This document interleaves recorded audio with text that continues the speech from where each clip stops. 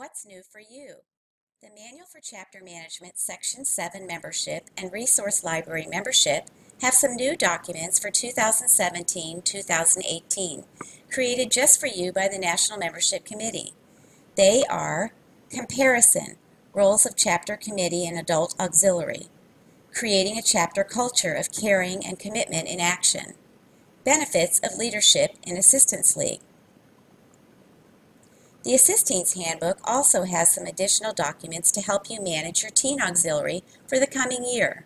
They are Guidelines for Assisteens Coordinator Training, Assisteens Auxiliary Coordinator and Chapter Liaison Sample Job Descriptions, Sample Assisteens Budget, Assisteens Social Media Policy.